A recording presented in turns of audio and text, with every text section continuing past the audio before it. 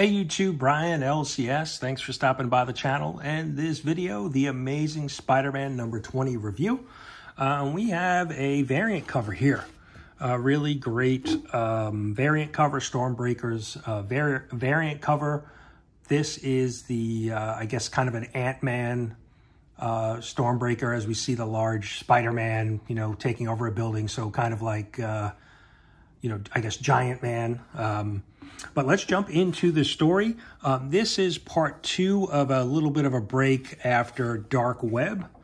So here is the creative team. We have some fill-ins. Uh, Joe Kelly is the writer and Terry Dodson, the artist and colorist. Um, and so we'll, we'll. So let's jump into the story and we pick up where we left off from last issue um, Spider-Man and Black Cat were on a little retreat for the weekend, a little getaway to a spa in upstate New York, and they ran into White Rabbit and her little side hustle of selling uh, or giving, um, you know, normal people uh, a little uh, slice of life as being a superhero. She had some tech that she borrowed from uh, Tombstone, and she kind of created this little side hustle and so now we have Peter uh, or Spider-Man uh, teaming up with Black Cat and White Rabbit trying to um, deal with these uh, folks that were on board for this, you know, getaway villain weekend with uh, White Rabbit's tech.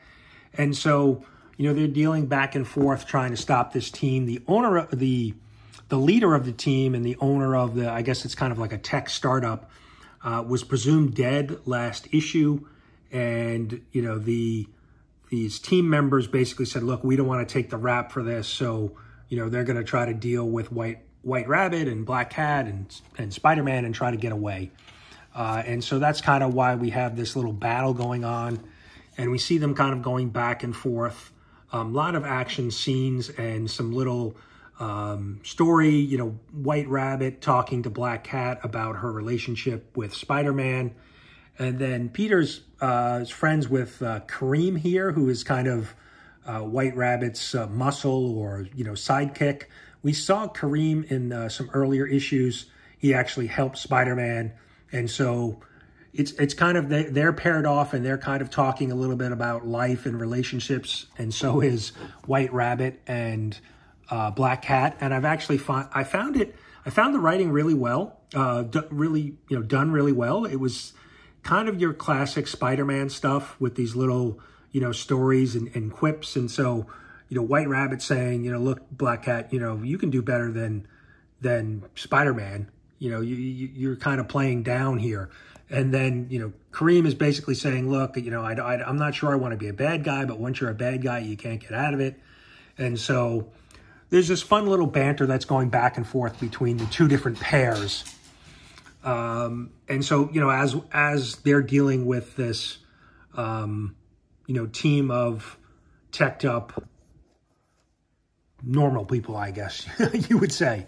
And so, you know, they're kind of back and forth. And then we, you know, we come to find out that the um, leader of the group was not uh, killed last issue. He basically did this as a test to his team to see if they would be loyal. Uh, and they were.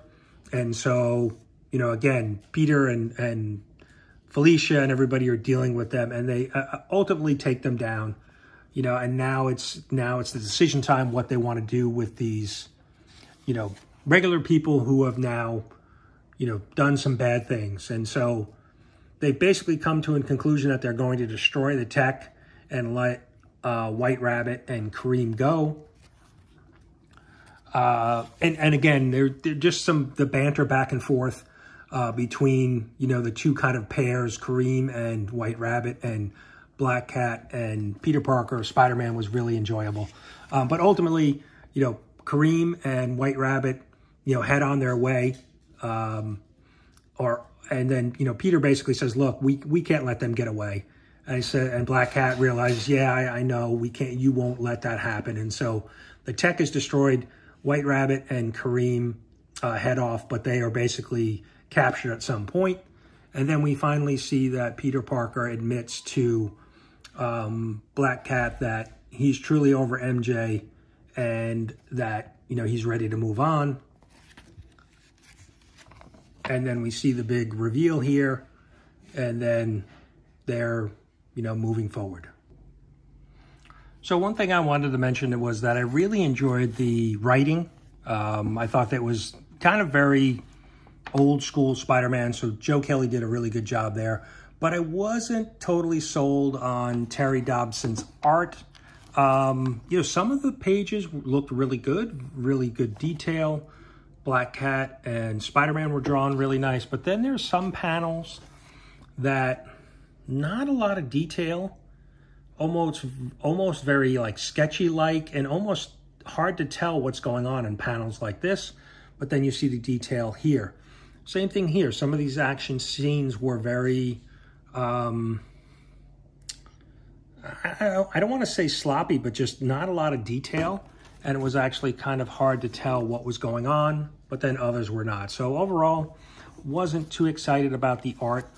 Um, I think it took away, distracted a little bit from, you know, the presentation, but the, the writing was done really well.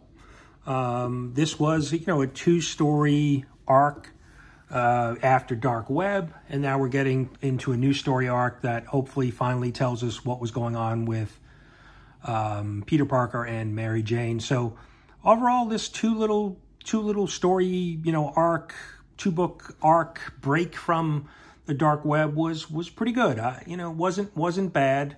Um, I think it was kind of just like a bridge to get to the next, you know, bigger story arc in this volume of Spider-Man.